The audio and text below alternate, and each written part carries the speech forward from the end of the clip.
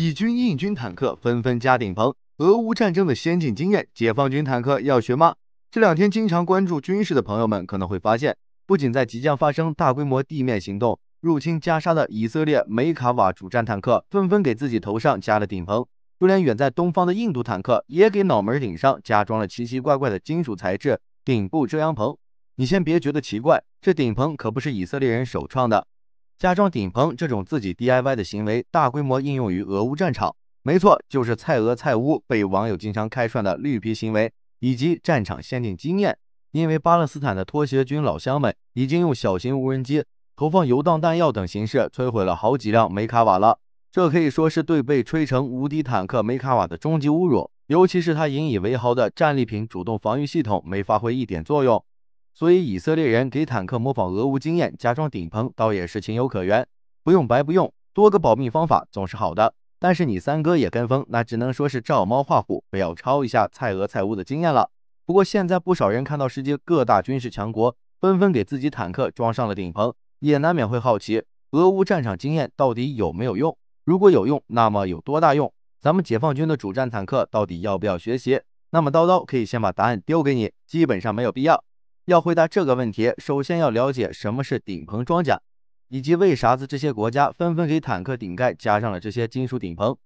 这种顶棚也是格栅装甲的一种，这种装甲本质上就是抵挡来袭的破甲弹，达到提前引爆破甲弹，从而保护坦克的目的。只不过坦克的顶部不怎么加就是了。最早这种顶棚样式格栅装甲的运用，在乱七八糟的中东战场上就已经出现了，比如叙利亚战场。中东老乡们在长年累月的战斗中，也积累了自己的战争经验。中东战场上的 RPG 火箭筒和 AK 步枪一样泛滥，所以为了防止从四面八方射来的破甲弹，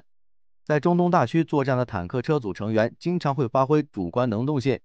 给自己加装五花八门的简陋格栅装甲，甚至有的还会在自己坦克上装满金属栅栏，活脱脱一个行走的巨大铁笼子。到了俄军发起特别军事行动后的俄乌武装冲突时期。对于俄乌这俩无人机不发达的国家，价格低廉的商用无人机啊、巡飞弹啊这些廉价武器，成为战场上最好用的攻击手段。俄军和乌军的坦克屡屡被挂载着小型破甲弹药的低价无人机和单兵反坦克导弹爆了头。面对这种情况，俄军和乌军不得已开始在坦克炮塔顶部安装上了制式的笼子式的格栅装甲。这种奇葩行为也一度被西方国家以及世界各国网友嘲笑。本来因为上下车不方便。没法抵挡攻顶导弹这些问题拆了一阵，但是随着后期 FPV 自杀式无人机、云飞弹等玩意儿的越来越多，俄乌这俩难兄难弟很有默契的又把顶棚加了回去，不仅加了回去，还在顶棚的基础上进行了改造。就像今年的军队2023军事论坛上，俄罗斯展出最新生产的 T90M 和 T80BVM 坦克上安装的最新型的制式顶棚，在原有的基础上进行了大量的精细化和升级，但依旧是简单粗暴。从上面叨叨说的顶棚装甲发展，大伙不难看出，现如今这东西的出现和应用，本质上就是用来抵挡飞在天上且难以反制的小型无人机。对于面对使用廉价无人机的低科技水平对手来说，非常的有用。所以以色列在自己吃了无人机的亏以后，也捡走了这俄乌的现成经验，给自己坦克盖了帽。但神秘的东方大国三哥也给自己坦克全加了顶棚，这让人有点匪夷所思。大概是受到了俄乌冲突和巴以冲突的惊吓吧。但是你三哥要面对的对手可是兔子呀！你真的以为这破烂顶棚有用吗？答案是没什么屌用，偌大的目标还是会被解放军的红箭石一一点名。在这里，叨叨就要说为啥咱们解放军不太需要这玩意儿。首先呢，这种简易的顶棚格栅装甲之所以能够活跃在世界各大战区，是他们面对的战场强度并非是军事大国之间的高烈度对抗，基本上都是军事实力不对等条件下的非对称作战，穷有穷的打法。这就给小型商用无人机发光发热的空间。其次就是顶棚装甲这种简易装备，价格低廉，没有任何技术含量，随便找个铁架子自己都能焊。对于没有反制无人机措施的国家来说，这种简陋到不能再简陋的手段，却成为这种低水平冲突中对抗小无人机最有效的方式。那么对于我军来说呢？首先从装备体系上来说，我国作为世界上无人机玩的最屌的国家。咱们解放军中的反制无人机的手段远比大家想象中的要多得多，